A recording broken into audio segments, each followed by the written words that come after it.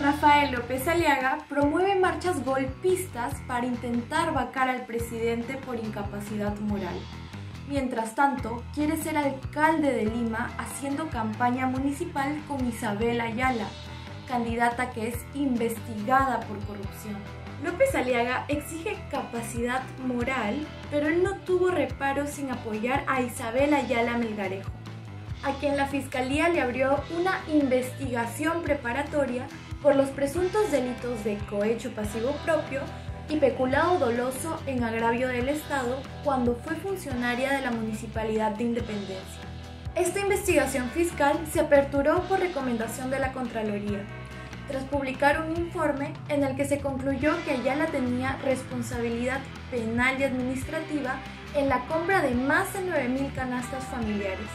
Sin un estudio técnico, Ayala pidió que se compre esta cantidad de canastas, que solo fueron entregadas realmente a 3.127 ciudadanos empadronados durante los primeros meses de la pandemia por el coronavirus. Según la disposición fiscal, para la compra de estas canastas, Ayala habría favorecido a la empresa Corporación Peruana Arrocera Atencio SAC a cambio de 11.000 soles, pues encontraron que el padre del dueño de esta empresa le realizó un depósito bancario a su cuenta el 30 de marzo del 2020. También se encontraron irregularidades como firmas que no correspondían con los ciudadanos que habían recibido las canastas, DNIs de personas fallecidas o ciudadanos que ni siquiera viven en Perú o residen en una jurisdicción distinta a la de independencia. Así también se encontró que funcionarios de entidades públicas recibieron estas canastas básicas a pesar de que no les correspondía.